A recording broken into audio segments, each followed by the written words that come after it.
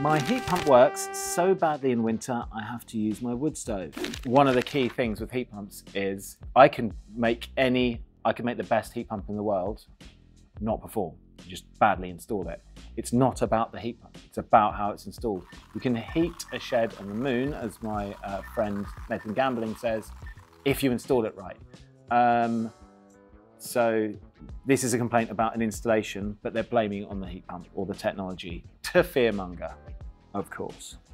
They're supposedly the greenest form of heating, but even in the most well-insulated properties, homeowners are turning to polluting uh, wood-burning stoves to pick up the slack from inefficient heat pumps. If this was written properly, this would say exactly that and have the word installations on the end, because heat pumps work without any backup if they're installed properly.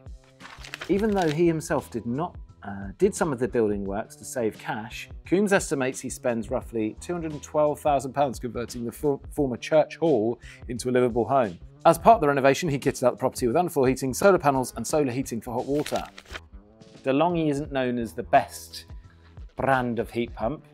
Um, I should imagine this has been done on the cheap, almost definitely. You can see the uh, insulation on the left is super thin because it's sort of wobbly and also the pipework looks like it's like 15, maybe 22 mil. Looks probably on the small side. The heat pump installation, including underfloor heating, hot water tanks, controls and electrical installation, came to about £8,500, says Coombs, who plumbed in the heat pump into the house himself. who plumbed the heat pump into the house himself, saving around £2,000. In the end, there wasn't there wasn't a lot more I could do. Right, well, so Newsflash. this is what the title should have said homeowner installs technology himself and it doesn't work. Yeah, that's why people have professions. I wouldn't get a butcher to do my dentistry work, and I'm not going to get a homeowner to put in a, a heat pump. Like the reason it doesn't work, the title should say homeowner. I've already given that one. Uh, this is like this is just stupid. He's put in his own heat pump. That's why it didn't work.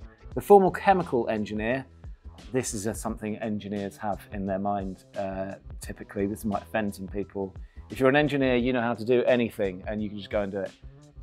It's not true, clearly. Mr. Coombs, if you're watching this, I am happy to send someone round at HeatGeek's expense and uh, increase your efficiency for free. So get in touch. And then get in touch with the Telegraph to do a piece, please.